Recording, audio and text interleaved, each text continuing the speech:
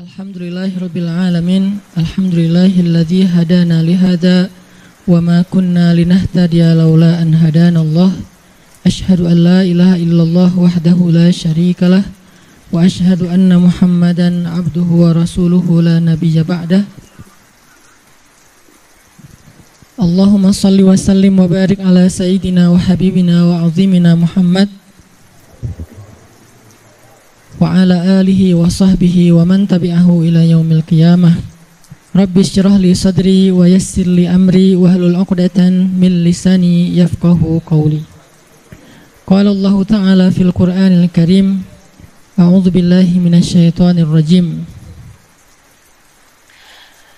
Bismillahirrahmanirrahim وكلا نقص عليك من أنباء الرسل ما نثبت به فؤادك وجاءك في هذه الحق وموعظة وذكرى للمؤمنين. Dan semua kisah-kisah Rasul kami ceritakan kepada engkau Muhammad agar dengan kisah itu kami teguhkan hatimu dan di dalamnya telah diberikan kepada engkau kebenaran, nasihat, dan juga ada peringatan bagi orang-orang yang beriman. Bismillahirrahmanirrahim. Nahnu naqussu 'alaika ahsanal qasasi bima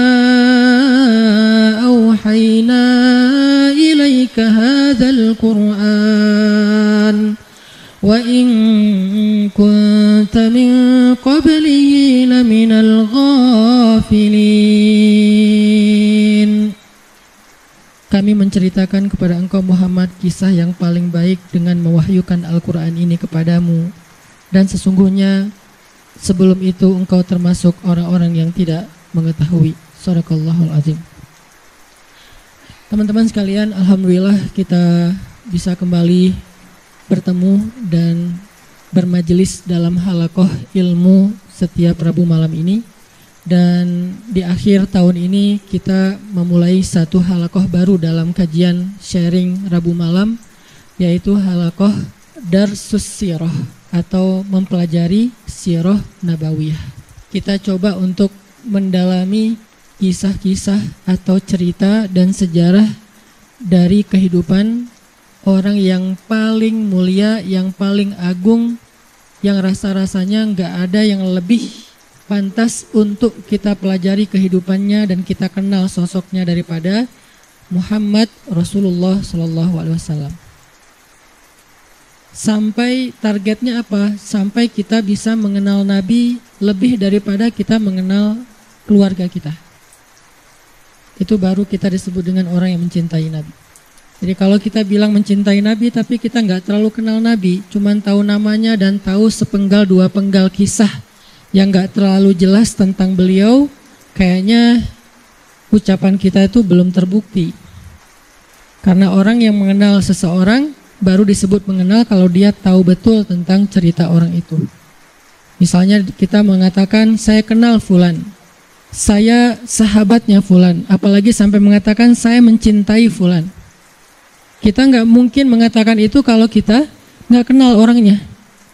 Kalau sampai kita mengklaim mengenal Nabi tapi kita nggak tahu apa-apa tentang Nabi kecuali secuil kisah, berarti jangan-jangan kita belum ju belum jujur. Nah, harusnya seperti apa kita mengenal Nabi?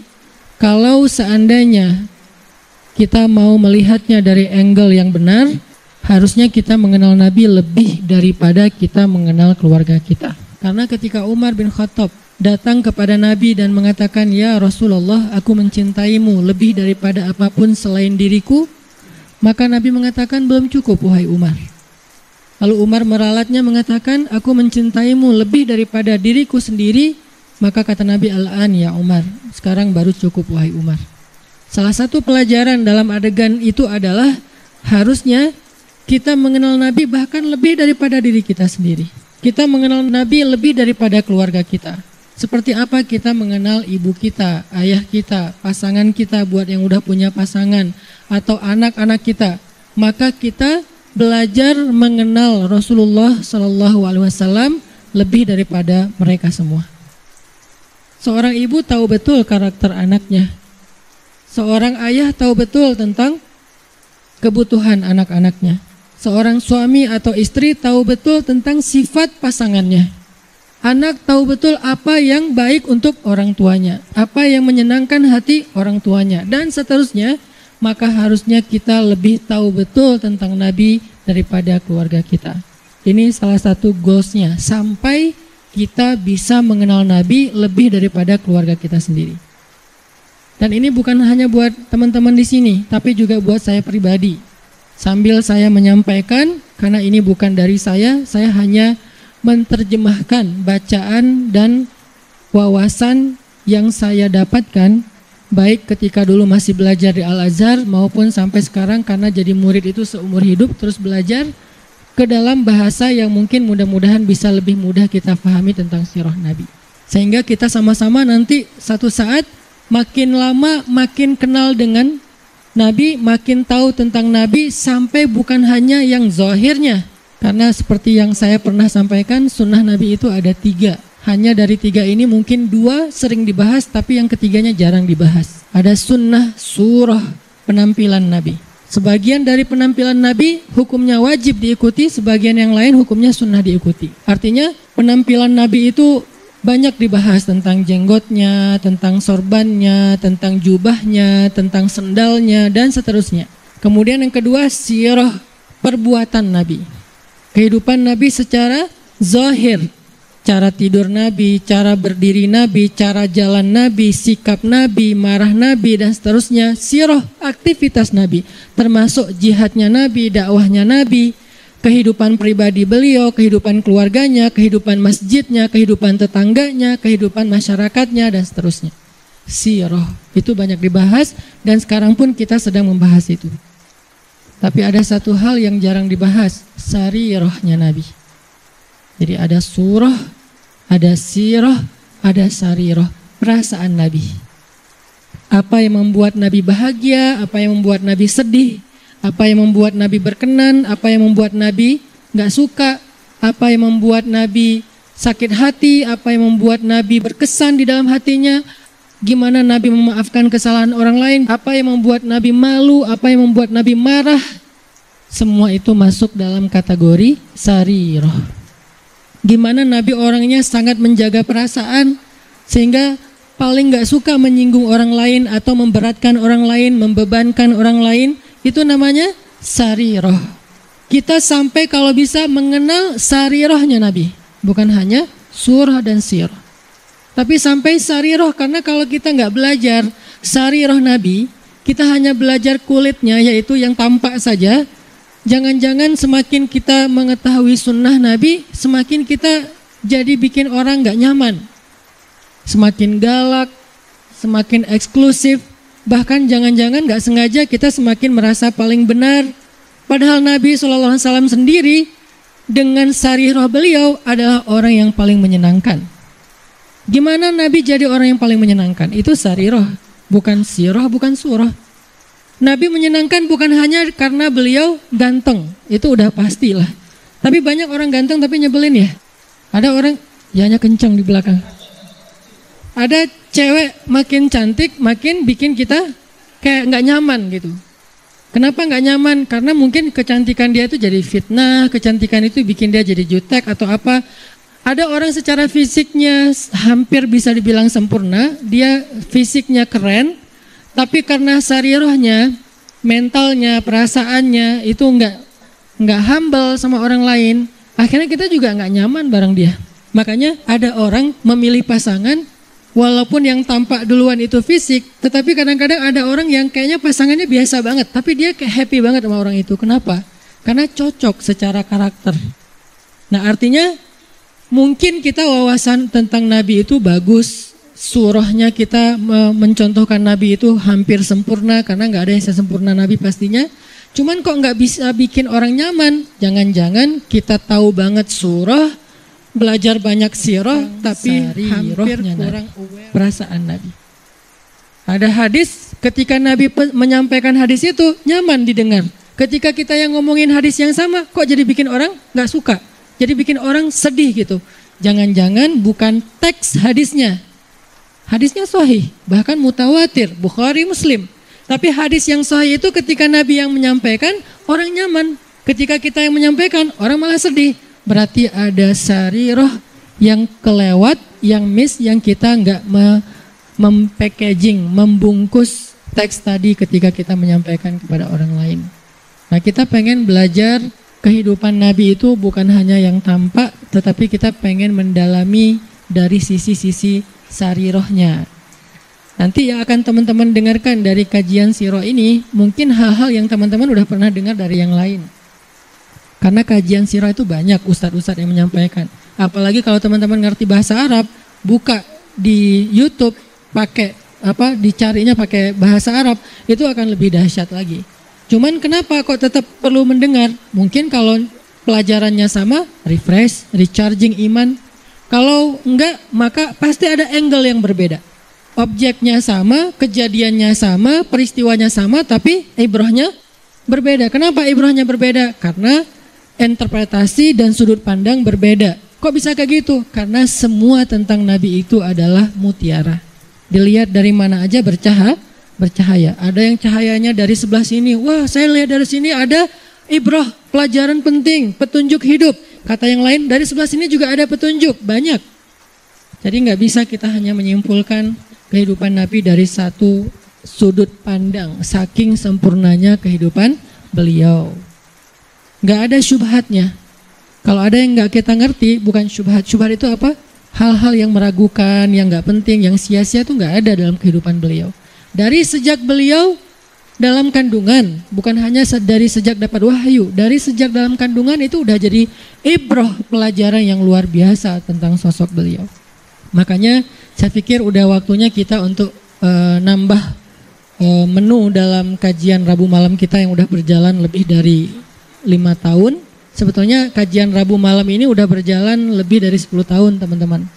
Karena sebelum ada pemuda hijrah, Rabu malam udah ada kajian saya di Masjid Al-Latif. Cuman dulu kajiannya yang hadir paling 15 orang, 20 orang. Kalau Persib lagi main libur ya.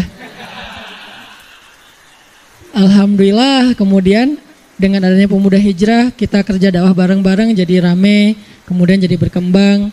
Artinya dulu tuh kajian kita tuh udah sempat masuk ke level apa, kemudian kita coba lightkan lagi supaya semua orang bisa nyaman dengan bahasa-bahasa taklim. Dulu udah agak bold tuh. Makanya saya bilang dulu kajian kita tuh membahas tentang rijal, para tokoh-tokoh kesatria Islam. Saya pernah bahas Ikrimah anaknya Abu Jahal, seberapa kerennya Ikrimah. Saya bahas juga tentang uh, kisahnya Imam Hasan Al-Basri, Ibnul Musayyib, uh, Umar bin Abdul Aziz sampai yang terakhir sebelum datangnya pemuda hijrah kita membahas Nuruddin Zinki dulu tuh udah sampai ke pembahasan rijal tokoh-tokoh Islam. Tapi karena kebutuhan dakwah dengan segmen yang lebih luas kita pakai menu yang lebih light lagi. Sekarang cengeknya dikurangin ya. Jadi light jadi semua orang bisa makan. Anak kecil juga bisa makan nasi gorengnya. Tapi itu udah berjalan lima tahun. Sekarang saatnya pakai tambahan cengek. Lebih lada dikit. Supaya apa? Supaya lebih nikmat. Supaya lebih kerasa. Nah ini kita tambahin dengan siro. Saya pikir semua teman-teman yang hadir di sini adalah orang-orang yang udah lama ngaji, udah rajin ngaji, udah ngejar talim. Yuk belajar siro sama-sama sampai kita mengenal sosok Nabi Kemudian, seperti kita mengenal. Melanjutkan pembahasan kita Rabu yang lalu tentang kenapa kita penting belajar siro, kenapa kita penting belajar sejarah. Bukan hanya siroh Nabi sebetulnya, sejarah Indonesia juga penting. Dari mana Ustadz banyak referensi-referensi? Jangan tanya saya, saya bukan ahli sejarah. Nanti kita bisa lihat banyak tokoh-tokoh ahli sejarah yang bisa mereferensikan sejarah Indonesia yang keren-keren.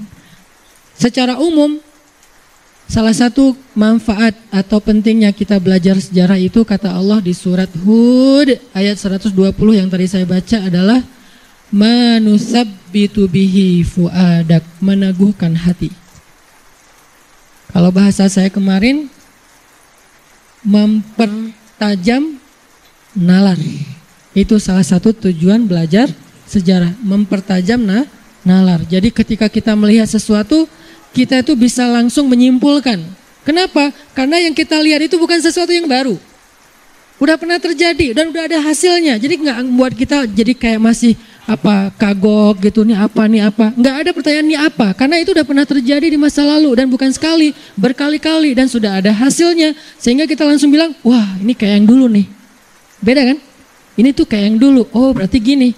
Artinya orang yang banyak membaca sejarah seperti orang yang hidup bukan 60 tahun tapi ribuan tahun. Orang yang banyak pengalaman. Pastinya nggak akan blank dalam melihat hal-hal yang terjadi dalam kehidupan dia. Beda mah misalnya anak kecil ngeliat sesuatu kan dia kayak baru apa pengalaman pertama kan masih nyoba-nyoba. Oh nanti gini hasilnya oh gitu hasilnya. Itu anak kecil karena dia hidup baru belasan tahun. Beda sama orang yang udah 60 tahun. Nah kata kakeknya atau kata ayahnya kamu jangan gini supaya kamu gitu. Kenapa? Kakek atau ayah udah ngalamin. Ternyata ada yang lebih panjang usianya daripada 60 tahun. Siapa? Orang yang membaca sejarah umurnya lebih panjang daripada orang yang sekedar hidup. Kenapa? Dia bisa berusia seribu tahun, dua ribu tahun, tiga ribu tahun, tergantung sepanjang apa sejarah yang dia baca. Sehingga siapa yang membaca sejarah, hobi membaca kisah, membaca sirah, berarti umurnya bukan 60 tahun. Umur saya sekarang misalnya 30-an sekian tahun. Kalau saya baca sirah Nabi, Berarti umur saya 1430-an tahun lebih atau 1400 tambah sekarang misalnya jadi sekitar 70-an tahun. Itu usianya. Kenapa? Saya baca sirah Nabi, saya baca sirah sahabat, saya baca sirah Bani Umayyah, saya baca sirah Bani Abbasiyah, saya baca sejarah Bani Utsmani, saya baca sejarah Bani Fatimiyah, saya baca tentang perjalanan kaum muslimin di Eropa misalnya, dan segala macam. Makin banyak baca sejarah Islam, yang tua banget, yang udah 1400 tahun itu, berarti semakin panjang usia kita. Seperti orang yang sudah hidup ribuan tahun. Artinya dia punya pengalaman yang banyak. Pengalaman itu membentuk pola pikir. Pola pikir itu menjadi guidance dia dalam mengambil sikap terhadap kejadian-kejadian dalam kehidupan dia. Itu pentingnya sejarah. Sehingga kalau ada orang yang masih bingung, kenapa ya? Pertanyaan itu berarti pertanyaan yang jarang baca sejarah. Kenapa ya umat Islam kayak gini? Kenapa ya kita kayak gini? Kenapa ya kita susah bangkit? Kenapa ya kita dan segala macam. Pertanyaan kenapa? Karena dia kurang analisa. Memang kita tetap butuh menganalisa realitas yang membaru. Tetapi semua itu tidak akan lepas dari pola kejadian sejarah. Hanya dia secara detailnya ada hal-hal yang memang baru. Tapi secara garis besarnya itu tuh pernah terjadi. Baik dalam kasus personal keluarga, bahkan bangsa. Sehingga ketika terjadi lagi orang yang hidup dalam sejarah, dia nggak akan heran.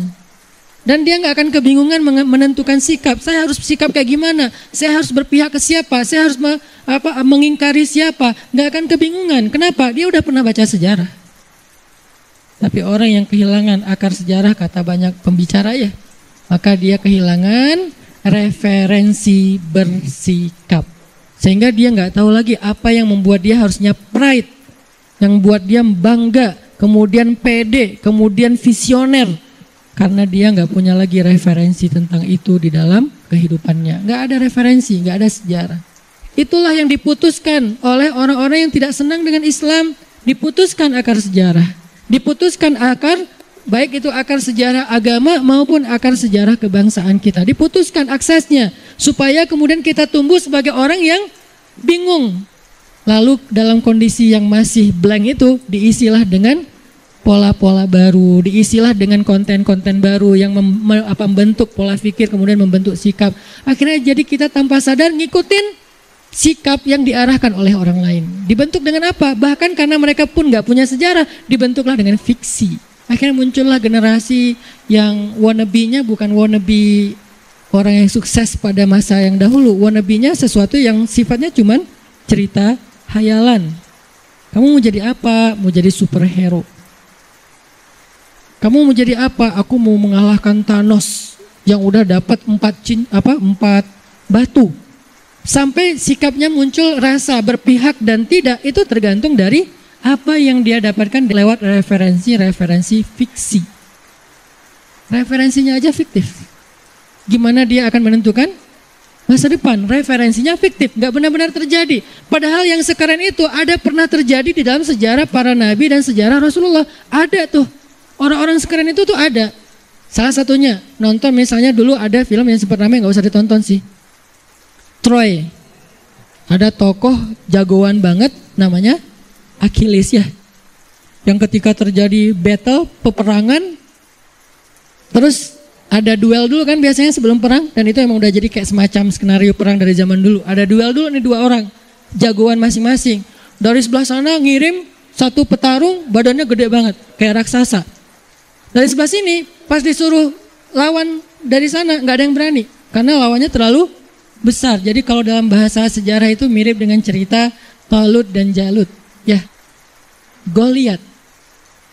Musuhnya adalah Goli, Goliat, gede, kuat, dan dari sini nggak ada yang berani ngelawan Goliat.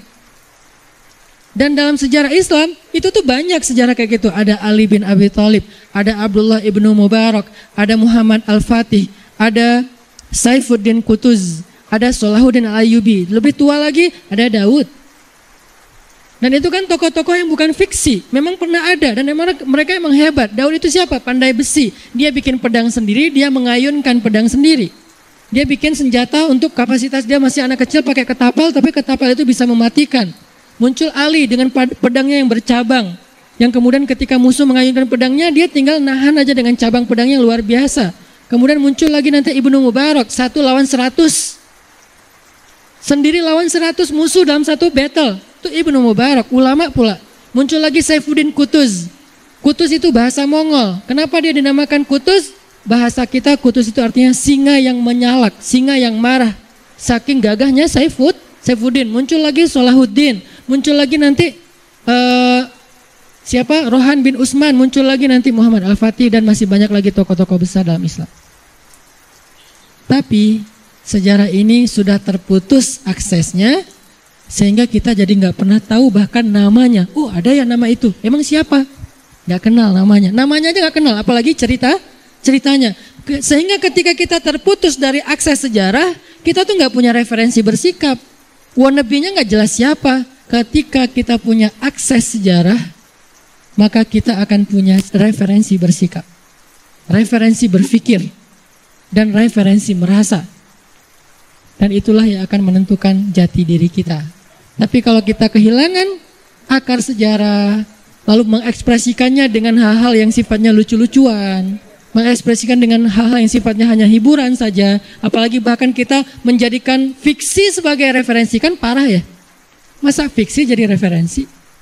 Sementara yang benar-benar terjadi kita abaikan, yang fiksi kita jadikan referensi. Kebenaran ditentukan dengan dialog di film. Kita kopas lalu jadi quote apa life hacks kita. Kan ini agak bermasalah sebetulnya. Masa life hacks kita dialog film fiksi? Harusnya life hacks kita itu dialognya para nabi. Seperti ketika Nabi Yakub alaihissalam di apa dimarahi oleh anak-anaknya putra-putranya sendiri. Ayah itu nggak adil sama kami. Ayah itu pilih kasih. Ayah itu begini. Berbagai macam tuduhan mereka kepada Nabi Yakub dan Yusuf muncullah sebuah quote yang luar biasa. Kata-kata yang luar biasa, life hacks yang harusnya jadi guidance kita dalam hidup kita untuk menentukan sikap. Apa quote-nya? Nabi Yakub mengatakan, Wallahul musta'an ala ma tasifun. Ashku bathi wa huzni ilallah fasabrun jamil. Kata-kata itu udah hilang. Berlalu ketika sesuai kita mengalami apa yang dialami Nabi Yakub, kita kebingungan menentukan referensi sikap. Ini saya harus gimana? Saya harus gimana? Kata-kata saya harus gimana terjadi gara-gara dia kehilangan referensi sejarah. Sejarah. Kalau dia baca sejarah, nggak perlu tanya saya harus gimana. Saya akan bersikap seperti Yakub bersikap. Dan itu yang dikatakan Sayyidah Aisyah ketika difitnah, dituduh selingkuh, dituduh main belakang segala macam dengan Sofwan bin Mu'attal. Lalu ketika Nabi bertanya kepada Sayyidah Aisyah, "Ya Aisyah, apa pendapatmu tentang berita yang ter, yang beredar di luar?" Apa jawaban Sayyidah Aisyah? Aisyah tidak menjawab. Ya saya harus bersikap apa? Saya nggak ngerti, saya nggak nggak tahu. Saya mah pasrah aja. Nah itu kata-kata orang nggak pernah belajar sejarah. Aisyah perempuan yang cerdas, makanya dia belajar sejarah. Langsung Sayyidah Aisyah mengatakan, saya tidak akan membela diri. Saya hanya akan mengatakan apa yang dikatakan Yakub. Berarti dia menentukan sikapnya sesuai dengan referensi sejarah, sejarah. Saya hanya akan mengatakan apa yang dikatakan Yakub. Fasobrun jamil, wallahul musta'an alama tasifun, ashku bathi wa husni ilallah. Sehingga hasil dari kejadian itu yang didapatkan oleh Sayyidah Aisyah sama dengan hasil yang didapatkan oleh referensinya yaitu Nabi Yakub alaihissalam kebaikan. Pertolongan Allah kejutan dari Allah perlindungan dari Allah dan lebih dahsyatnya lagi pembelaan dari Allah. Makanya ketika kita mengalami masalah yang sama di fitnah, diomongin, dicuekin, segala macam dibully. Kenapa ada orang ketika dibully malah patah putus asa terus bunuh diri? Atau putus asa minimal akhirnya dia kayak baper berat sendiri terus nggak bisa ngapa-ngapain sampai sekarang muncul berbagai macam penyakit mental karena dia nggak punya referensi sejarah. Referensinya apa? Drakor. Akhirnya dia mencoba untuk wannabe seperti aktor-aktor yang ada di sana. Ustaz nggak nonton? Dikit. Maksudnya saya nggak mau memposisikan diri sebagai orang suci lah ya. Tapi saya nggak senang drakor uh, sebenarnya. Cuman kayak banyak banget yang ngomong-ngomongin akhirnya penasaran apa sih apa sih dan segala macam nyari tahu sedikit-sedikit artinya ada orang yang pengen menjadi seperti itu dan dia merasa bahwa dia itu merasakan apa yang dirasakan oleh misalnya siapa yang di dalam film-film drama Korea itu dan dia merasakan kayak aku udah jadi seperti itu terus ada kayak semacam kepuasan ceritaku tuh mirip mirip banget loh sama yang di, di drama Korea aku tuh dikhianati Kenapa? Karena akses sejarahnya terpu, terputus. Sekarang waktunya kita mengembalikan akses itu, membuka akses itu, baca buku sejarah, baik sejarah bangsa kita, apalagi sejarah agama kita.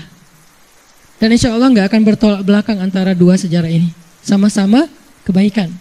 Cuman tetap kalau sejarah bangsa kita ratusan tahun, kalau sejarah agama kita ribuan tahun. Karena agama kita itu bukan cuma sejarah Nabi Muhammad, tapi juga sejarah para ambia dari Nabi Adam, Nabi Nuh dan seterusnya. Berarti kita udah kayak hidup puluhan ribu tahun. Pengalaman kita coba. Kan dahsyat baca sejarah itu. Salah satu bahkan para ulama mengatakan sejarah itu adalah wawasan para raja. Dulu raja-raja itu memang mereka punya satu pelajaran wajib selain geografi ya. Karena itu disebut dengan thaqafatul muluk, wawasan para raja kurikulum raja lah. Di zaman-zaman Islam masa kejayaan dulu kan anak-anak yang calon raja dari keturunan raja biasanya kan keturunan tuh. Mereka udah punya sekolah sendiri dan salah satu kurikulum wajib calon raja selain kemampuan fisik, militer segala macam, mereka harus belajar filsafat, bahasa, geografi, sejarah wajib. Kenapa filsafat Ustaz? Cara berpikir kritis. Kenapa sejarah Ustaz? Punya pengalaman, sehingga ketika dia jadi raja, dia tuh nggak culun. Kok bisa usia 14 tahun jadi raja, tapi kayak pengalamannya udah jadi raja sekian ribu tahun. Karena dia baca sejarah raja-raja. Sehingga apa yang dialami oleh pendahulunya seolah-olah pernah dialami oleh dia. Dan dia nggak bingung lagi menentukan sikap. Itu kenapa sejarah itu menjadi wajib bagi calon raja dulu. Geografi kenapa? Ini ekspansi. Geografi itu bukan soal pembagian wilayah, tetapi juga bagaimana ekspansi kekuasaan kekuasaan. Itu inti dari geografi yang mereka pelajari. Bahasa, kemampuan berdiplomasi dan segala macam, kemampuan mempengaruhi, eksis di sosial media mereka. Sosial media mereka itu adalah tempat-tempat bertemunya para tokoh, eksis dalam FGD, eksis dalam meeting, eksis dalam kongres, kemampuan berbahasa, menjelaskan dan berargumentasi, itu adalah wawasan para calon raja. Salah satu di antara sekian banyak wawasan calon raja itu adalah sejarah. Jadi nggak sesederhana yang kita pikir, ah ini mah cuman bidang ilmu bagi yang seneng doang. Saya tuh aslinya nggak seneng sejarah, aku tuh kan orangnya move on, nggak melihat masa lalu. Salah. Sejarah itu bukan cuma masa lalu kita diputusin tanpa alasan. Itu sejarah apa? Sepele banget lah itu receh. Itu aja bisa mempengaruhi sikap kita kan? Akhirnya kita nggak gampang percaya orang gara-gara apa? Pernah percaya banget sama orang tapi ternyata dia kayak mengkhianati kita. Kan berarti terpengaruh oleh sejarah masa lalu kita pribadi. Padahal ada sejarah yang lebih dahsyat dari sekedar masalah itu. Jadi sejarah bukan salah satu cabang ilmu atau wawasan atau bacaan tergantung hobi. Sejarah itu tentang diri kita. Sejarah itu adalah yang membentuk pola pikir dan sikap kita. Dan kalau pola pikir dan sikap sejarah ini kemudian menjadi pola pikir dan sikap bangsa, kebayang nggak tuh bangsa ini jadi apa? Bukan pola pikir dan sikap individu, satu di antara sekian banyak orang Indonesia enggak. Mayoritas orang Indonesia tahu sejarah bangsanya, tahu sejarah agamanya yang luar biasa, tahu sejarah Islam itu yang paling berjaya di muka bumi. Ketika mayoritas kaum muslimin di Indonesia, terutama anak muda, tahu sejarah Islam, itu ngeri loh hasilnya, dahsyat banget. Kebangkitan itu nggak bisa dibendung. Dan dia nggak akan gampang terpengaruh oleh berbagai macam fitnah, oleh berbagai macam berita-berita yang kemudian menjadikan agamanya justru sebagai tersangka atau antagonis. Nggak bisa. Dia tahu sejarahnya. Nggak bisa agama Islam itu dijadikan sebagai tersangka, objek fitnah, apalagi jadi tokoh antagonis. Masa Islam dan tokoh-tokoh Islam jadi Thanos? Nggak bisa. Karena dia tahu dia tuh bukan Thanos, dia tuh bukan penjahat, dia tuh bukan Joker. Walaupun ada alasan, enggak, enggak, enggak. Islam itu keren banget dan dia tahu sejarahnya. Sehingga gimana pun orang mencoba untuk ngegoreng tentang agamanya, tentang bangsanya, tentang apa keislamannya, enggak, enggak akan terpengaruh. Orang bacaannya tuh banyak, bacaannya tebal-tebal dan dia tahu banget sejarahnya. Dia bisa meneliti bahwa itu kenyataan bukan sekedar fiksi ada runut apa riwayat-riwayat informasi yang jelas sehingga dia nggak akan terpengaruh. Salah satunya terbangkitlah giroh, hamasah masa lalunya. Kita perlu tahu tentang sejarah itu. Ada orang yang tahu sejarah nasab dirinya aja kadang-kadang jadi pede kan. Saya itu bukan orang biasa, saya tuh ningrat. Ada yang kayak gitu kan? Kalau saya rakyat jelata sejarah saya. Tapi rakyat jelata ini rakyat jelata yang pejuang. Saya tahu kakek saya pejuang, saya tahu ayah dan ibu saya pejuang, bukan pejuang kemerdekaan mungkin ya. Tapi pejuang keluarga yang mereka itu nggak pernah give up dengan semua masalah kita yang rumit. Sehingga itu tuh menjadi spirit buat saya. Kalau ibu saya aja pejuang, masa saya jadi orang yang malas-malesan dan gampang menyerah? Nggak bisa. Karena saya punya sejarah sesederhana itu aja berpengaruh loh. Gimana dengan sejarah yang bukan keluarga kecil saya, sejarah apa agama dan bangsa saya. Indonesia itu punya sejarah yang dahsyat. Kita nggak hanya bisa bangga dengan Islam, tapi juga kita bangga dengan nasionalisme kebangsaan kita yang punya sejarah perjuangan yang bahkan bisa mengusir negara-negara dan bangsa-bangsa yang kuat di dunia dengan kekuatan kita yang seadanya tapi bisa. Kenapa? Karena kita punya sejarah.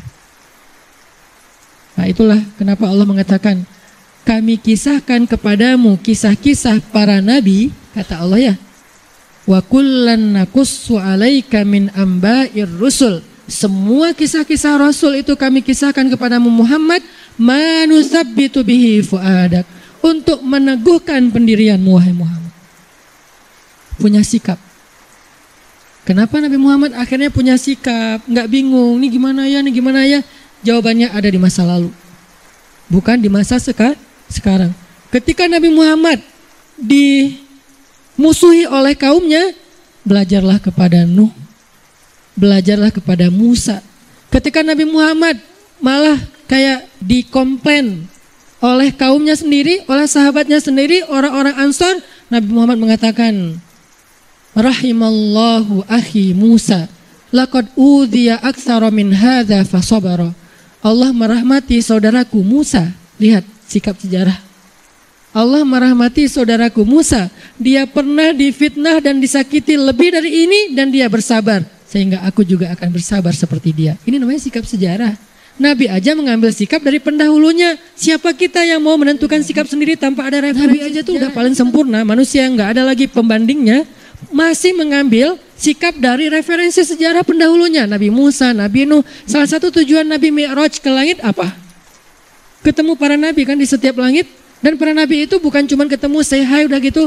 Kayak udah pelukan pergi. Enggak. Mereka bercerita wahai Muhammad saudaraku kata Musa. Aku dulu pernah diuji begini begini begini. Alhamdulillah aku bersabar. Akhirnya aku mendapatkan hasil ini ini ini. Kaumku itu lebih bawel daripada sahabat kamu. Kaumku itu kamu tahu kan Bani Israel seberapa bawelnya mereka? Ada apa-apa viral ada apa-apa trending. Itu Bani Israel banget dan Nabi Musa menceritakan dengan bahasa beliau, Nabi Muhammad mendengarkan, akhirnya naik lagi semangatnya. Insya Allah saya akan kuat seperti yang kau hai saudaraku Musa. Ketemu Ibrahim, anakku Muhammad. Kalau Nabi Ibrahim manggilnya anaknya. Kalau Nabi Musa manggilnya akhi. Kalau Nabi Ibrahim memanggilnya ibni, ahlan bibni solih wan nabi solih. Selamat datang anakku yang soleh dan nabi yang soleh. Itu uh, apa? Sapaan Ibrahim di uh, Baitul Ma'mur ketika ketemu dengan Nabi saat Mi'raj. Ahlan bibni solih wa nabiyyin solih. Kalau Musa ahlan bi akhi solih wan nabi solih. Selamat datang saudaraku yang solih dan nabi yang soleh. Tapi mereka semuanya bercerita. Nabi Ibrahim bercerita kisah beliau di Irak, kisah beliau di Mesir, kisah beliau di Palestina, kisah, kisah beliau di Mekah. Asal usul munculnya kehidupan di Mekah. Ketemu lagi dengan Nabi Isa. Nabi Isa bercerita kisah beliau, kisah, kisah ibu beliau, kisah saudara sepupu beliau yaitu Yahya. Para ambia semuanya berkisah kepada Nabi untuk mentasji, untuk mengapa? menguatkan uh, kesabaran Nabi dan semangat Nabi dalam berdakwah sehingga pulang dari Mi'raj terjadilah sebuah lompatan besar dalam dakwah Nabi. Lompatan itu disebut dengan istilah hijrah. Setelah Mi'raj, hijrah itu terjadi. Nabi langsung prepare. Kita akan hijrah ke Madinah. Apa preparationnya? bahwa orang-orang haji yang datang dari Madinah. Waktu itu udah ada haji walaupun belum ada syariat Islam tapi haji versi zaman jahiliyah.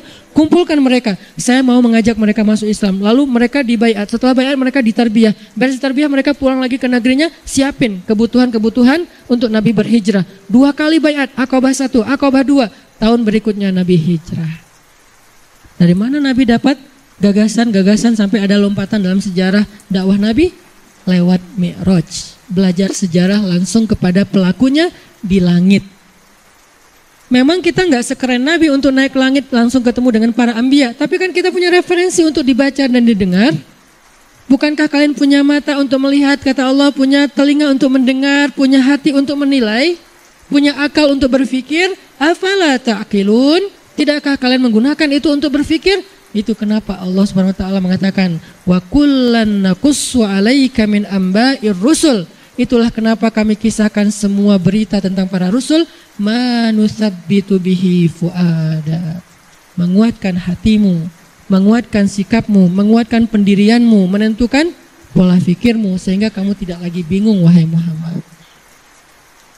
Dan Allah katakan lagi, waja'aka fi hadhil haqqu wa mau'izatun wa dzikra. Di dalam cerita-cerita itu ada kebenaran, bukan fiksi. Apalagi kata Allah, mau mau'izah nasihat, ibrah pelajaran, wadzikro peringatan. Nasihat kalau itu adalah tokoh-tokoh yang baik supaya kita meniru mereka. Wadzikro eh, peringatan kalau itu tokoh-tokoh yang buruk agar kita tidak mengulangi kesalahan itu.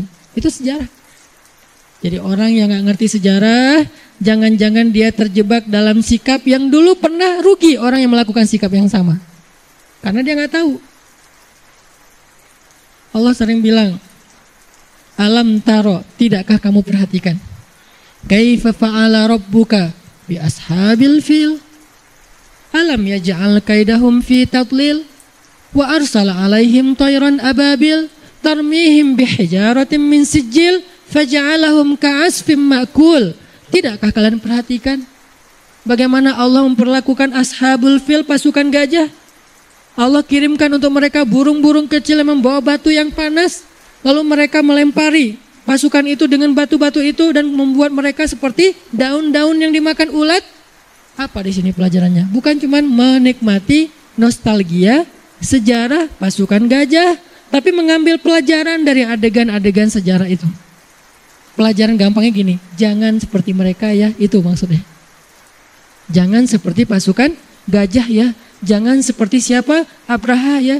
Apa sikap yang salah dari Abraha sehingga kita harus jadikan itu peringatan untuk tidak kita ulangi? Sikapnya apa? Dia mau menyaingi agama Allah dengan materialisme. Dia bangun sebuah rumah ibadah yang paling megah. Terbuat dari emas, permata, zamrud segala macam sampai berharap dengan rumah ibadah yang megah ini yang secara arsitektur dia futuristik banget Orang berbondong-bondong datang ke tempat ini dan meninggalkan Ka'bah yang cuma persegi empat sederhana, nggak terlalu canggih secara desain menurut Abraha. Ternyata nggak berhasil. Orang tetap aja pergi ke Ka'bah dan rumah yang dia bangun menghabiskan budget sekian uh, apa emas dan perak. Ternyata nggak mendatangkan orang banyak. Malah orang datang ke sana malah membandingkan, oh ini bagus sih, tapi nggak ada nggak menarik ya, pergi aja. Akhirnya Abraha kan sebel ya. Ilfil gitu, bete dia kenapa ya? Saya udah ngabisin budget anggaran habis-habisan buat ngebangun sebuah bangunan yang megah, tapi malah nggak mendatangkan orang untuk meninggalkan Ka'bah. Malah orang nggak beralih dari Ka'bah ke Ethiopia. Tetap aja Ka'bah lebih ramai daripada Ethiopia. Marah.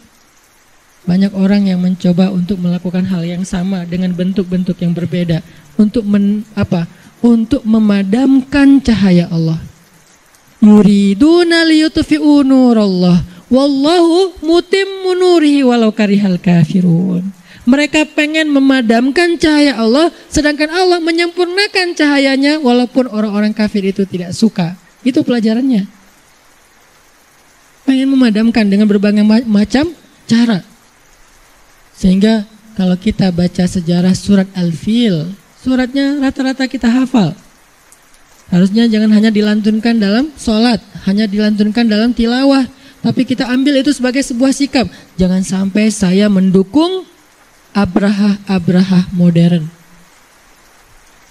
Siapa Abraha modern yang ingin memadamkan cahaya Allah, ingin memadamkan agama Allah, ingin memadamkan dakwah fisabilillah dengan cara-cara mereka. Pertama caranya membangun pengaruh, pengen lebih eksis. Gak bisa, akhirnya pakai cara kasar ya.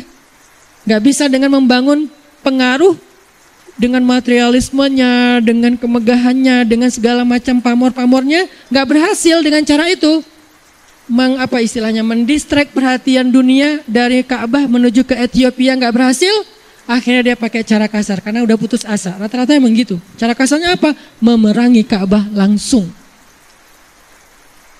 Jangan sampai saya, mungkin kita nggak akan jadi Abraha, tapi jangan-jangan tanpa kita sadari, kita itu pasukannya. Kita bukan Abrahanya, bukan tokoh utamanya, tapi jangan-jangan tanpa kita sadari, kita pasukannya yang nge-like apa yang dia lakukan yang nge-repost apa yang dia lakukan, yang men-story apa yang dia lakukan, yang bahkan kadang-kadang ikut mendebat, membela di komen-komen apa yang dia lakukan. Kan berarti kita termasuk ashab, bukan Abrahanya. Karena ayat itu bukan tentang Abraha, tapi tentang ashabnya, pengikutnya, orang-orang yang nge-following dia. Itu pentingnya belajar sejarah. Sekarang siapa yang mencoba memadamkan cahaya Allah? Kita nggak boleh menentukan dan menyebutkan nama karena itu etika dalam menyampaikan ilmu. Tetapi lihatlah banyak orang yang mencoba untuk supaya Islam ini tidak kemudian menjadi sesuatu yang kemudian e, berpengaruh dalam kehidupan kaum muslimin sendiri. Dihalang-halangi segala macam. Makanya ihzaru, hati-hatilah. Karena Allah mengatakan wa lil mu'minin. Peringatan bagi orang beriman karena bisa jadi korbannya justru kita sendiri. Fitnah Terjadi lagi nanti fitnah di zaman Nabi. Aisyah yang tadi diselingkuh. Tahu nggak siapa yang nge-repost berita bohong itu? Bukan orang munafik, bukan orang kafir. Yang nge-repost berita bohong itu orang mukmin sendiri. Makanya ayatnya innalladzina ja'u bil if innalladzina ja'u bil ifki usbatum minkum sesungguhnya yang menyebarkan apa bahasa kita menyebarkan? Bahasa sosmed. Nge-repost yang posting pertama orang Yahudi. Posting pertama nih. Temu kemudian orang mukmin ngelihat wah ada berita heboh atau salah repost. gampang banget kan tinggal pakai aplikasi gratisan repost tapi captionnya diganti biar terasa lebih original ya dia nggak mau nge-repost dengan caption-captionnya, diganti sendiri captionnya. Nggak nyangka ya. Kalau orang Yahudi yang pertama menyebar, yang mem, pertama memposting berita itu, captionnya gini, Aisyah dan Sofwan pulang berdua, tanda tanya. Salah apa betul? Betul, emang pulang berdua kan? Tapi kan bukan berarti selingkuh. Kenapa pulang berdua? Darurat, karena tertinggal rombongan. Dan nggak salah itu. Sehingga si Yahudinya nggak bisa dituntut. Sebagai media, dia tidak melakukan kesalahan kode etik. Tetapi dia punya trik untuk membuat orang salah paham. Pakai tanda tanya. Aisyah dan Sofwan pulang berdua. Koma, ada apa? Titik. Tanda tanya. Hah? Datang mukmin yang terlalu gampang untuk sama'una lil kadzib kata Allah di Al-Qur'an. Sama'una lil kadzib gampang banget percaya dusta, gampang banget percaya hoax. Repost, ganti captionnya, nggak nyangka ya. Postingannya tadi dia capture gambarannya orang Yahudi, kemudian dia kasih caption sendiri nggak nyangka ya. Nah, yang ketiganya nih, mukmin yang lain dapatnya dari mukmin yang tadi, bukan dari Yahudi lagi. Yang nggak akan curiga dong dia berbohong kan ya? Sesama mukmin pasti benar nih. Oh gitu, caption baru. Terus berkembang jadilah trending topik viral di kota Madinah, Aisyah dan Sofwan selingkuh. Apa pelajaran sejarah buat kita? Seringkali itu terjadi dalam kehidupan kita. Mudah berkembang ke mana-mana beritanya jadi hoax. Gara-gara ada yang terlalu sembrono sama'una lil kadhib. Dapat satu langsung repost, satu langsung repost. Kadang saya juga pernah terjebak dengan itu walaupun niatnya baik. Makanya jangan mengulangi kesalahan yang pernah terjadi pada tokoh-tokoh sejarah yang terdahulu. Baca nanti akhir surat Hud dan pembukaan surat Yusuf. Karena surat Yusuf itu isinya cerita, kisah-kisah sikap Nabi Yusuf itu tuh penting buat kita. Ada yang pernah ngerasa kayak dijailin sama keluarga besarnya, kakak adiknya kadang-kadang nggak suka sama dia, kayak dizolimin dalam urusan waris, belajar sama Nabi Yusuf, nggak akan rugi. Mungkin orang ngerasa bahwa kita kalau dizolimi dari sisi waris, kita jadi orang yang paling rugi dalam satu keluarga. Mereka itu apa galak-galak, mereka ambil warisan dari uh, ayah saya dan segala macam saya dizolimi. Belajar dari Yusuf yang dilemparkan ke dalam sumur. Bagaimana perjalanan beliau? Justru beliau lebih beruntung daripada kakak-kakaknya. Kezoliman kakak-kakaknya membawa Yusuf ke puncak dari karirnya.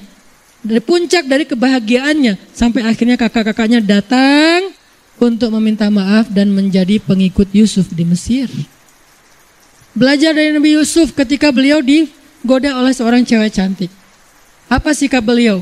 Bagaimana cara beliau menolaknya? Belajar dari Nabi Yusuf ketika beliau di dalam penjara belajar dari Nabi Yusuf ketika beliau dapat kekuasaan. Banyak banget pelajaran dari Nabi Yusuf. Jangan sampai kita jadi kakak-kakaknya Yusuf. Kan gitu kan salah satu pelajarannya. Jangan-jangan tanpa kita sadari kita itu kakak-kakaknya Yusuf. Yang dengki kepada keluarga kita sendiri. Lalu, kita fitnah. Kalau lebaran nggak mau ketemu. Pulang mudiknya beda hari. Jangan-jangan kita adalah kakak-kakaknya Yusuf. Belajar. Ada mau ezoh, ada zikro. Kalau yang baik namanya mau izoh, kalau yang tidak baik namanya zik, zikro, peringatan, ambil. Dan pilih sikap itu untuk menentukan hasil dalam kehidupan kita. Itu teman-teman, kelanjutan dari kemarin. Tadinya saya mau ngelanjutin membahas tentang tanda-tanda kenabian. Karena tanda-tanda kenabian juga dahsyat banget, luar biasa. Banyak banget ibroh, mau izoh, dan zikro yang kita bisa ambil di situ. Tetapi karena saya pengen mempertegas lagi pembahasan kita pada minggu yang lalu biar kita tahu kenapa sih harus belajar sejarah. Kenapa harus baca sirah Nabi? Kenapa nggak cukup dengan sekedar baca Quran aja? Lagi pula kita nggak akan ngerti Quran kalau kita nggak ngerti sirah. Orang yang baca Al-Quran cuma terjemah, nggak baca sirah, itu kayak baca sebuah teks baca sebuah surat dari orang yang dia nggak kenal. Beda tuh. Pernah nggak baca teks chat dari orang yang kita nggak kenal, cara ngomongnya, intonasinya. Kita baca dengan intonasi kita kan? Misalnya kita baru kenal teman nih di grup. Eh, uh, kumpul yuk. Ya. Ada yang jawab? Ya. Padahal dia kalau jawabnya, ya. Tapi kita, ya. Kan beda kan? Kasar banget sih ya, nggak pakai titik-titik, nggak pakai emoticon. Dia emang terbiasa orangnya kalau teks itu dia nggak terlalu banyak gimmick ya. Kan ada orang teks tuh gimmicknya banyak kan. Ada yang kadang-kadang overdosis bunga-bunga, kaktus segala macam masukin ke teks. Ada yang kayak gitu overdosis tuh. Ada yang minimalis teks teks aja nggak pakai titik-titik. Kalau saya masih pakai titik-titik sekarang. Maksud saya tuh titik-titik itu membuat intonasinya itu rata gitu. Ya Kalau ada juga yang pakai caps lock, Y A kayak singkatan gitu. Kemudian tanda seru tiga, iya, kan gitu kan ya. Nah ini ada orang kadang-kadang saya pernah eh, nggak uh, semua orang tuh ngerti fungsi caps lock, nggak semua orang ngerti fungsi tanda seru. Kalau kita nggak kenal dia, kita pikir dia kasar, padahal enggak, dia nggak ngerti. Saya pernah ngechat teman saya, beliau di daerah lah, mungkin dan beliau bukan anak muda, jadi orang yang mungkin mengenal teks ini dengan handphone nggak terlalu akrab lah ya. Artinya dia ngetik apa yang dapat aja. Mungkin pas dia mencet nggak sengaja kepencet caps lock ya, save gitu kan. Udah gitu dia ngetik aja. Ini gimana matiin caps locknya? Udahlah, krim aja gitu. E, Pak, ini ada gini gini gini nih. Oh iya, e, boleh. Tapi semuanya caps lock, tanda seru. Ada yang pakainya S-nya jadi Z. Zaya. Apa lagi nih? Nah ini kalau kita nggak kenal orangnya nih, kita pasti seuzon kan? Tapi kalau kita udah kenal orangnya, dia emang gitu orangnya. Emang gitu dia. Kan gitu kan ya? Karena kita tak tahu orangnya, kita nggak akan ilfil, kita nggak akan jadi salah sangka. Karena kita tahu orangnya, oh dia nggak ngerti caps lock, dia ngerti tanda seru. Kadang-kadang ada yang ngirimnya emoticon yang harusnya itu cewek ke cowok, tapi cowok ke cowok agak geli kan? Masa emoticon kiss? Kan astagfirullahaladzim. Dia salah pencet. Dia pikir itu kayak uh, oh ya nggak uh, apa anak buka kafillah gitu kan. Love love gitu kan buka kafillah love-nya di mata matanya di, jadi love gitu kan ya. Buka kafillah pakai love. Oh ya gelas sih sebetulnya tapi ya orangnya nggak ngerti ya. Makanya kita mungkin teman-teman kita orangnya kan santai gitu. Orangnya tuh kayak anak-anak muda biasanya nggak terlalu lebay gitu kan ya oh ya makasih. Apa misalnya? Tapi ada yang makasih ya masya Allah apa segala macam. Kok dia ekspresi banget sih? Nah kita harus tahu orangnya dulu baru kita mengenal maksud dari teksnya. Maka untuk memahami Al-Quran dan Sunnah berbentuk teks kita harus paham siroh kalau nggak kita nggak akan ngerti maksudnya. Pernah terjadi kesalahpahaman itu dulu di zaman tabiin. Tabiin itu artinya nggak ketemu nabi kan nggak tahu ketika wahyu itu turun ada kejadian apa. Taunya cuma teks, sama kayak kita. Cuman mereka ketemu sahabat. Dalam satu peperangan, kaum muslimin terdesak sama musuh, orang-orang Persia. Sehingga ketika terdesak, ada seorang laki-laki tabiin, tabiin itu berarti generasi ke dua yang nggak ketemu Nabi, nggak tahu sejarah Al-Quran turun, dia pakai ayat. Wahai kaum muslimin, Janganlah kalian mencelakai diri kalian sendiri. Kita udah terdesak, mending kita mundur aja, kita pulang aja. Karena Allah berfirman, mulai dia pakai ayat. Allah berfirman, "Wala biaidikum ila tahlukah." Janganlah kalian mencelakai diri kalian sendiri.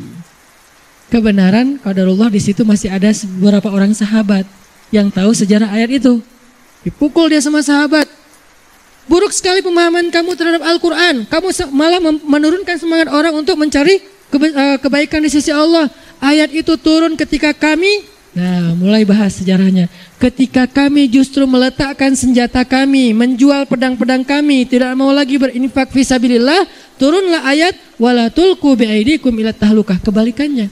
Ternyata maksud ayat itu janganlah kalian mencelakai diri kalian sendiri dengan cara berhenti berjihad. Sedangkan tabiin tadi memahaminya Udah berhenti aja, jangan perang lagi biar kita nggak celaka. Kata Allah justru jangan berhenti. Kalau kalian berhenti, kalian mencelakai diri sendiri. Kebalikan ya. Kenapa bisa pemahamannya terbalik? Gara-gara nggak paham sejarah ketika ayat itu turun. Makanya dipukul dengan pukulan yang tidak menghina atau menyakiti, maksudnya ditegur gitu. Jelek sekali, salah sekali pemahaman kamu tentang ayat itu. Dulu ayat itu turun kepada kami, karena kami sudah menjual pedang kami. Kenapa menjual pedang? Karena merasa kaum muslimin sudah besar, jihad udah nggak nggak perlu lagi, nggak perlu lagi ada militer, nggak perlu lagi ada prajurit. Kita ini udah besar, kita ini udah berkembang, Islam itu udah ada di mana-mana, sehingga kita jual senjata kita. Dalam sejarah Islam laki-laki tanpa senjata itu nggak ada izahnya dalam sejarah senjata dan tahu menggunakan senjata. Tetapi dia juga ada guidance, ada fikih cara membawa senjata. Senjata nggak boleh dia membawa senjata ke tempat umum karena itu bisa menyakiti orang lain tanpa sengaja, gitu-gitulah. Yang jelas kami jual pedang kami. Kami jual onta dan kuda perang kami. Kalau sekarang mungkin mobil-mobil off-road touring yang apa misalnya kayak mobil untuk apa kegiatan cowok-cowok kayak gitulah ya, dia jual. Kami jual panah-panah kami. Kami tidak mau lagi berinfak membantu dakwah dan jihad turunlah ayat janganlah kalian mencelakai diri kalian sendiri. Pemahamannya justru sebaliknya. Pentingnya belajar sejarah. Teman-teman kalau baca fitnah dari orang-orang yang gak suka kepada Islam tanpa ada referensi sejarah pasti jadi bingung. Setidaknya kalau nggak jadi benci jadi bingung kepada Islam. Katanya Nabi itu pintar, tapi kok nggak bisa baca tulis? Nah, kita harus baca sejarah. memang Nabi sebagian besar ulama mengatakan memang nggak bisa baca tulis. Tapi pada masa itu itu bukan aib. Kenapa bisa gitu? Karena tren belajar pada masa Nabi bukan dengan membaca dan menulis, tapi tren belajar pada masa Nabi itu dengan menghafal, mendengar, menghafal dan meriwayatkan. Maka kecerdasan Nabi bukan membaca dan menulis. Kecerdasan Nabi itu adalah mendengar langsung hafal. Satu Al-Quran ketika diturunkan oleh Jibril satu juz. Surat Al-An'am, surat terpanjang di Al-Quran yang diturunkan sekaligus. Al-Baqarah panjang tapi nggak sekaligus, dicicil. Kalau Al-An'am panjang dan sekaligus, satu juz lebih satu lembar. Berarti sebelas lembar. Jibril datang, wahai Muhammad, dengarkan firman Allah. Nabi mendengar. Dibacakan surat Al-An'am sekaligus sebelas lembar, Nabi langsung hafal. Kurang cerdas apa coba? Ada di antara kita yang hafal, yang mendengar satu juz langsung hafal? Nggak ada. Alif lam mim dzalikal kitabul raiba fi sampai tilkar rusul faddal til tilka ummatun qad khalat min qablikum uh, dan seterusnya. Satu juz, juz satu, Ustaz, saya udah hafal barusan dengar dari Ustaz. Nggak ada orang yang kayak gitu sedahsyat Nabi tuh. Nabi dengar dari Jibril langsung hafal. Lalu setelah hafal diulangi lagi oleh Nabi di hadapan sahabat. Nggak ada satu huruf pun yang salah. Kita mungkin bisa hafal tapi masih salah-salah. Baca satu halaman. Ladhina amanu wa amilu salihati anna lahum jannat. Dibacakan oleh ibu kita dulu waktu kecil ya.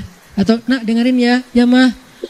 Kuliah ya ayyuhal kafirun la a'budu ma ta'budun. Secerdas-cerdasnya anak hafal. Mah, udah hafal Barusan hafalnya, Masya Allah, Masya Allah, brilian, jenius ya. Coba ulangi. Kuliah ayuhal kafiran, satu surat kecil. Itu aja udah jenius. Ini satu juz. Kita hafal, salah-salah dikit tetap jenius. La abudu ma ta'budun, wala antum abidun nama abud, wala ana abidun ma abadtum, wala antum abidun nama abud, wala ana abidun. Eh ini kapan selesainya? Maklum atau mah kan baru pertama juga ngafal, oh iya pinter. Ya, cuman satu penggalan surat pendek hafal sekaligus itu udah pinter banget. Nabi itu satu juz lebih sekaligus dan gak ada yang salah. Berarti bukan berarti aib kalau beliau nggak bisa baca tulis karena tren belajar pada masa itu bukan membaca dan menulis tapi meriwayatkan dengan cara mendengar lalu menghafal. Tren itu berubah. Masa dulu, masa kita nih, masa saya maksudnya. Tren belajar itu menulis datang ke sekolah nulis. Anak-anak keluarkan buku catatan. Ya bu, oh nulis di papan tulis ya. Kadang-kadang ada guru yang kadang-kadang lagi sibuk meeting atau lagi rapat, lagi banyak kerjaan. Dia nulis, dia suruh ketua kelas untuk nulis di, pa, di papan. Kan gitu kan? Kebiasaan kita waktu kecil ya. Ketua kelasnya nanti tulisannya di bukunya ngambil dari temannya yang paling pintar di kelas. Eh, eh pinjam catatan lo pas lagi keluar istirahat, yang lain pada main, dia lagi ngulangi catatan kan kasihan yang disuruh nulis tuh biasanya. Siapa yang biasanya disuruh nulis ke papan tulis? Yang paling bagus tulis tulisan. Alhamdulillah saya nggak pernah. Nah tren kita belajar tuh menulis, pergi ke taklim, bawa buku catatan kan. Ternyata tahun 2000-an ke sini trennya berubah lagi dengan rekaman. Anak-anak sekarang belajarnya nyari referensi bukan di perpustakaan, googling, YouTube, karena memang referensinya memang ada di Google juga sih yang udah berbentuk digital. Mereka bisa cari referensi itu sambil ngafe. Tren itu berubah-ubah. Nah di masa Nabi trennya mendengar dan meriwayatkan. Sehingga nggak disebut sesuatu yang aib kalau nggak bisa baca dan tulis. Dan nggak pintar-pintar amat juga kalau bisa baca dan tulis. Biasa aja. Yang senang membaca mangga, yang nggak senang juga. Yang penting dia ngafal. Dan Nabi itu cerdas banget dengan mendengar, menghafal, dan meriwayatkan. Sehingga disebut as-sadiqul masduk orang yang jujur dan dibenarkan, nggak pernah salah dalam menyampaikan berita. Nah, kalau kita nggak baca sejarah kan jadi, ya kok bisa gitu ya? Katanya Fatonah cerdas, tapi nggak bisa baca tulis karena kita nggak baca sejarah. Sejarah banyak lagi nanti syubhat, tuduhan-tuduhan yang membuat kita kadang-kadang galau dengan keislaman kita sendiri. Kok Islam gini ya? Kok sampai ada gitu ya? Karena kita nggak tahu akar sejarahnya. Mudah-mudahan ini menyemangati kita teman-teman semuanya. Yuk kita baca nih sirah Nabi. Sampai kita mengenal Nabi itu seperti kita mengenal keluarga kita. Kalau nggak bisa lebih dari itu. Idealnya sih lebih dari itu, cuman kan kita realistis juga semampu kita. Minimal seperti kita mengenal anak-anak kita, mengenal kakak-kakak dan adik kita. Gitu banget. Mudah-mudahan dengan kayak gitu, manusabitu bihi fuadak. Kita sebagai aset bangsa, yaitu pemuda, nggak lagi tumbuh sebagai pemuda yang warnanya warna yang dicat oleh orang lain. Tapi sibwah kita, warna kita, warna sejarah. Dua, sejarah bangsa kita dan sejarah agama kita. Insya Allah dengan kayak gitu kita menjadi anak muda. Orang boleh bilang, lo masih umur 20 tahun, sok tahu. Enggak pak, usia saya bukan 20 tahun, berapa? 3000 tahun. Kenapa usianya 3000 tahun? Yang dia baca sejarah 3000 tahun yang lah yang lalu dia tahu apa yang udah pernah terjadi. Jadi bukan anak kecil ingusan yang nggak tahu apa-apa, dia tahu banget karena dia baca sejarah. Maka jadilah dewasa dengan sejarah. Mudah-mudahan bangsa kita akan memiliki masa depan yang lebih baik karena aset bangsanya adalah aset-aset yang sudah menyejarah, bukan aset yang masih polos yang belum tahu apa-apa. Itu aja yang bisa saya sampaikan hari ini. Mohon maaf belum sempat masuk ke tanda-tanda. Ini saya udah bawa catatan banyak nih tentang tanda-tanda kenabian yang luar biasa. Insya Allah pekan yang akan datang kita akan membahas tanda-tanda kenabian Nabi 40 tahun pertama sebelum dapat wahyu. Karena Nabi itu jadi teladan bukan hanya setelah dapat wahyu, bahkan dalam rahim beliau udah banyak pelajaran yang penting. Kita akan bahas itu insya Allah sehingga kita bisa mengenal Rasulullah Shallallahu Alaihi Wasallam. Sehingga dengan gitu kita nggak males lagi berselawat kepada Nabi. Beliau orang yang layak kita puji dengan salawat-salawat kita. Duhai Allah, teguhkanlah hati kami. Sebagaimana engkau meneguhkan hati nabimu dengan ilmu, dengan pemahaman, dengan kebijaksanaan, dengan kisah-kisah yang telah engkau ceritakan kepadanya. Maka sampaikanlah juga kisah-kisah yang indah itu kepada kami ya Allah. Melalui lisan guru-guru kami, lisan ulama-ulama kami, lisan kiai-kiai kami, lisan ustaz-ustaz kami, lisan habaib-habaib kami, lisan orang-orang yang berdakwah di jalanmu. Ajarkan kami tentang keteguhan Nuh alaihi salam. Ajarkan kami tentang kesabaran Musa alaihi salam. Ajarkan kami tentang semangatnya Isa alaihi salam. Ajarkan kami tentang akhlaknya Nabi Muhammad sallallahu alaihi wasallam. Ajarkan kami ya Allah sejarah, kisah-kisah yang bisa membentuk kepribadian kami yang lebih baik bisa membangun nalar dan pemikiran kami, bisa menentukan sikap-sikap kami, agar kami bisa meneruskan sikap-sikap baik sejarah dan mendapatkan kebaikan-kebaikan yang sama, agar kami bisa terhindar dari sikap-sikap buruk sejarah dan terhindar dari keburukan-keburukan yang sama. Ya Allah, anugerahkanlah untuk Indonesia anak muda-anak muda yang cinta sejarah, sejarah bangsanya dan sejarah agamanya, agar pemuda-pemuda Indonesia kelak bisa mengulangi kegemilangan-kegemilangan sejarah yang baik itu. Agar pemuda-pemuda Indonesia kelak menjadi pemimpin-pemimpin, pahlawan-pahlawan bagi bangsanya dengan semangat sejarah kepahlawanan dari orang-orang yang terdahulu. Rabbana atina fid dunya hasanah wa fil akhirati hasanah wa qina adzabannar. Subhanakallahumma wa bihamdika asyhadu an la ilaha illa anta astaghfiruka wa atubu ilaik. Assalamualaikum warahmatullahi wabarakatuh.